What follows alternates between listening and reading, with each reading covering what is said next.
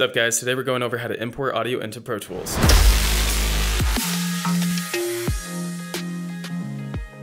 Alright, so I have this session that we had open in our new track video. If you haven't watched that, be sure to check that out. I'll link that below. So to import audio, all we have to do is go to File, Import, Audio. And you can see right here, the, uh, the quick key is Shift Command I, Shift Control I if you're on a PC. So we'll click on that.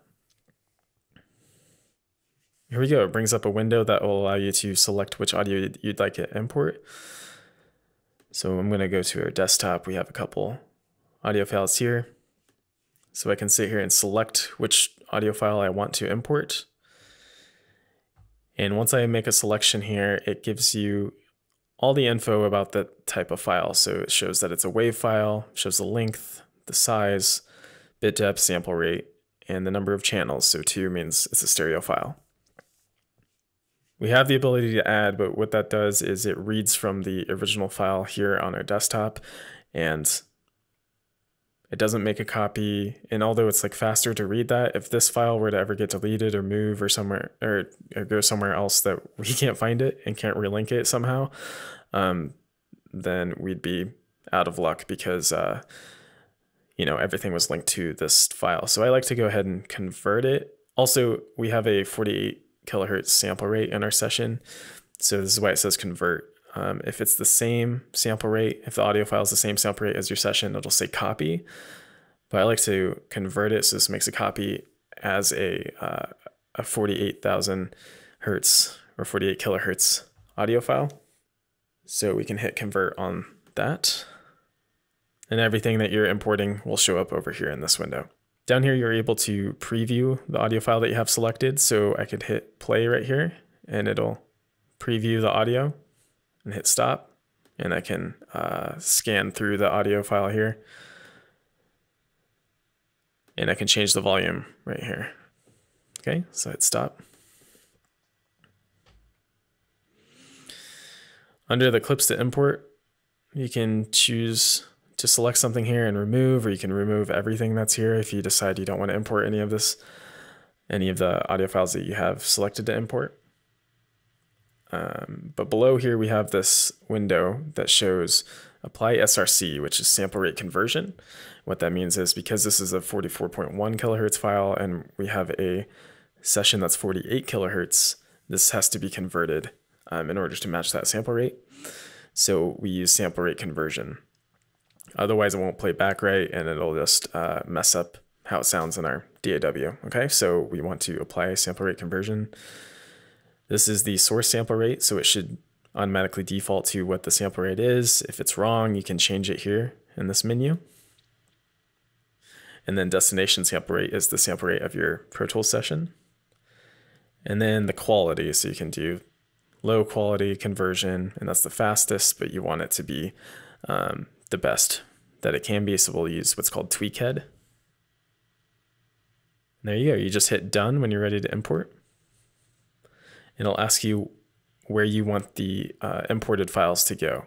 So when we make a Pro Tools session, this is actually what all is contained in that Pro Tools session. You have the session file itself, clip groups, bounced files, which we'll get into bouncing later, but this is basically exported files um, our audio files folder. So every audio file that we have in our session, uh, as long as we copy it to here or import it into here, it'll be contained within this audio files folder and then video files. And these are our session file backups.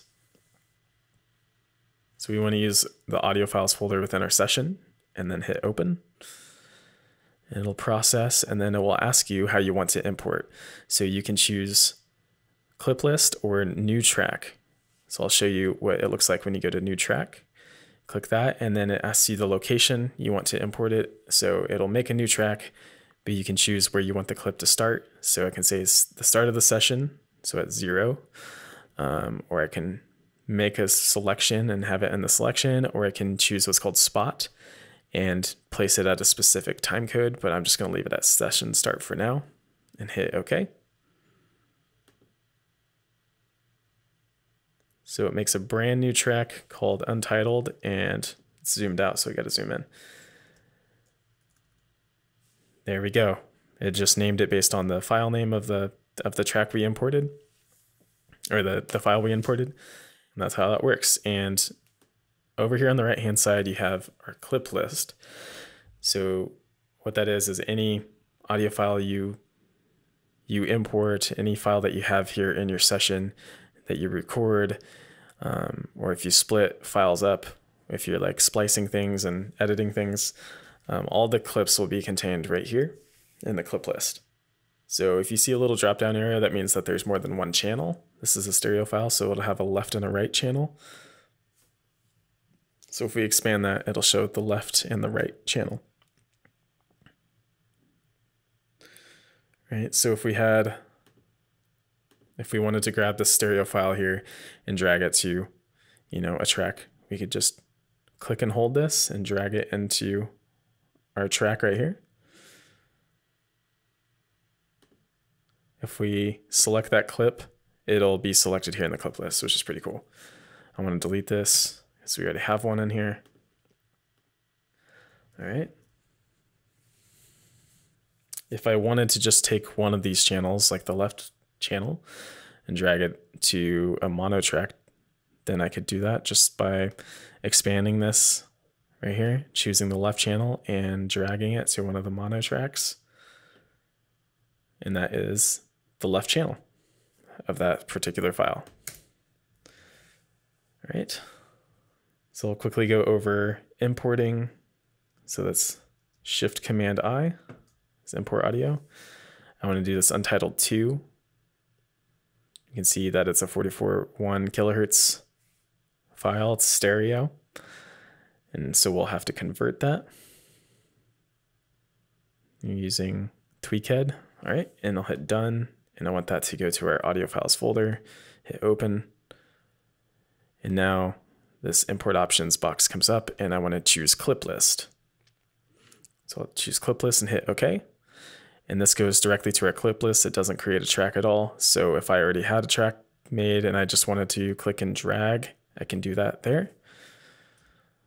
And I hit Command Z to undo.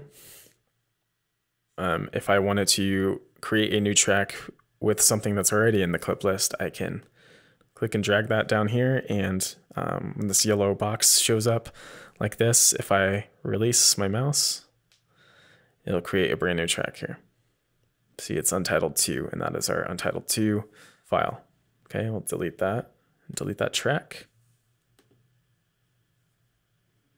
So we can see here, because it's a stereo file, it has two channels, and our meter looks a bit different because it's two channels. There's two bars here.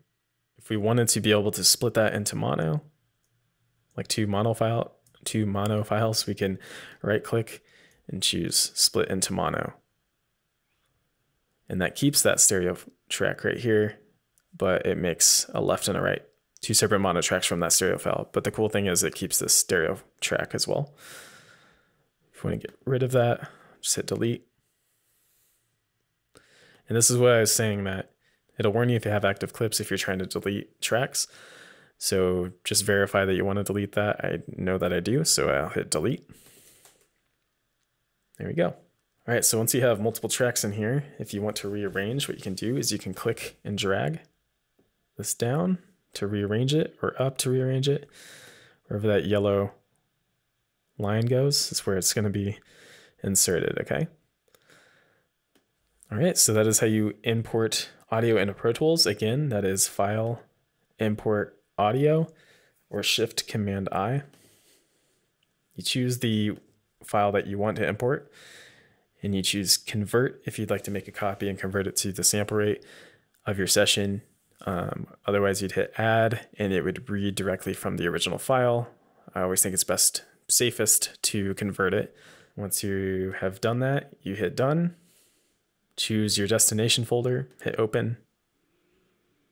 It asks you where you would like to import it, new track or clip list. Hit OK since we already have um, this untitled track in our clip list, it made a dot one, so it keeps it separate.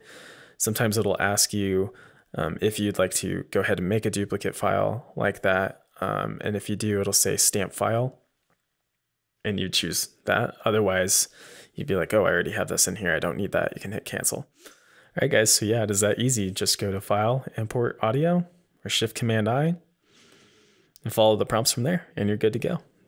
Thanks so much for watching, guys. I'll see you in the next video.